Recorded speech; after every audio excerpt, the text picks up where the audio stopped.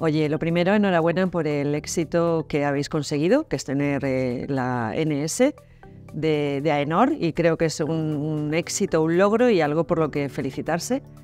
Y bueno, vamos a culminarlo dentro de un momentito con la entrega, pero antes de eso me gustaría preguntarte, ¿qué os ha supuesto la NS en Terratés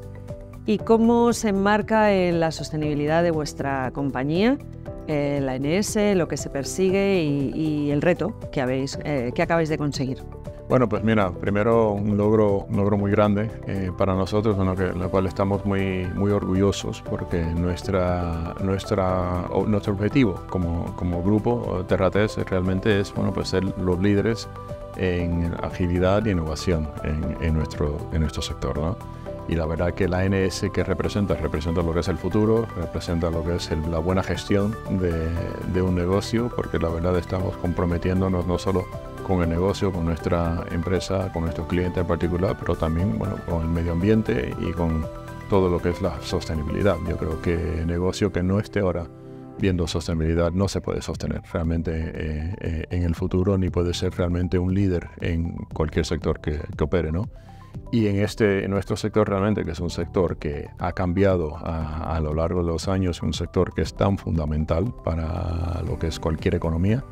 eh, nosotros que somos los primeros que entramos en cualquier, eh, en, cualquier obra, eh, dentro de la, construcción, infraestructuras, etcétera, bueno, pues eso nos da a nosotros la oportunidad para entrar y marcar la pauta y marcar realmente, decir, bueno, pues esto es como podemos nosotros contribuir a, tener realmente un lugar de sostenibilidad y una posición de sostenibilidad dentro de, los proyectos. Entonces, y para nosotros nuestra estrategia internamente dentro, dentro del grupo, dentro de nuestra rama de innovación, en nuestro equipo de, innovación y de, transformación, bueno, pues eh, esto es un esfuerzo que llevan trabajando eh, mucho tiempo de la mano, eh, obviamente, de